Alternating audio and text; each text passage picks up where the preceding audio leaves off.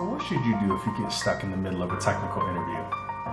What's up fam, this is Anthony D. Mays, software engineer at Google and blogger at anthonydmays.com. And I've got five tips that I think will help you get unstuck if you find yourself in that situation. So let's start from the top. Number one, let your interviewer know.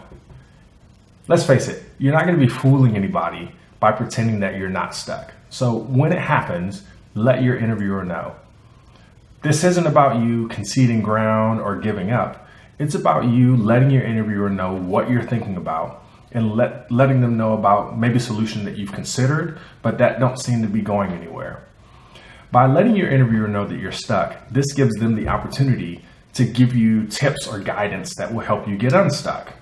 If you don't admit that you're stuck, they can't help you. So don't be prideful, let go of your hubris, let your interviewer know if you get stuck. And a lot of times they can help you get unstuck very quickly. Second thing you want to do, ask questions. A lot of times we can't solve problems if we don't have enough information about the problem that we're trying to solve.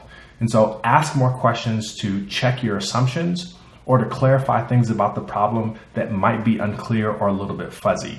So again, ask good questions.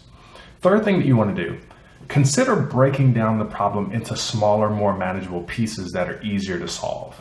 So for instance, if you're planning a wedding that will feature a thousand guests, maybe you want to think about how you would plan a wedding for 100 for 100 guests and then extrapolate upwards from there. Uh, similarly, when I'm coaching candidates who are doing the Google technical interview, I'll sometimes use a sample problem that involves finding an element in an, an infinite array. And a lot of times I'll ask candidates to think about what they would do in the case of a finite array where they know what the number of elements already are?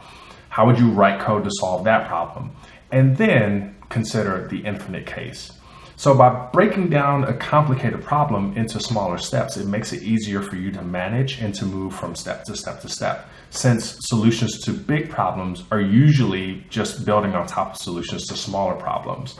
A good interviewer will usually break up a complicated problem into three steps, maybe an easy, medium, and then hard part. You can also do this on your own. Just let your interviewer know what you're thinking, what you're doing, and how you're building uh, step by step by step. Fourth thing that you want to do is leverage guiding principles. So if you've done a good job of studying, you should have three or four guiding principles that help you along in the problem solving process. Principles like, say, Occam's razor which suggests that the simplest solution to a problem is usually the best one. And so if you're looking at two different solutions, one seems more complicated than the other, maybe you should consider starting with the simpler solution and figuring out if you can make headway that way. One of the other principles that I use as a computer scientist is something called the space-time trade-off principle, which suggests that if I want to make my code go faster, I probably need to use more space. That means that if I'm in an interview situation where I, where I need to make my code faster, the first thing I'm thinking about is, is there a data structure that exists that would help me out in this situation? A lot of times that's probably gonna be a, a hash map or a hash set just because those usually come up a lot in, in technical interview questions.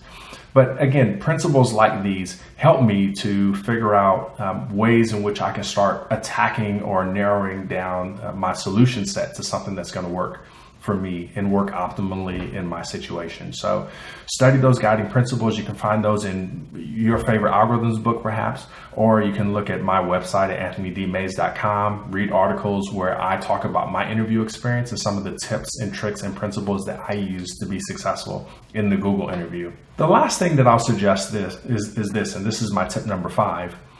Think about similar problems that you've solved in your study and preparation how are the solutions to those problems useful? Um, how might those solutions be useful to the problem that you're trying to solve in the present?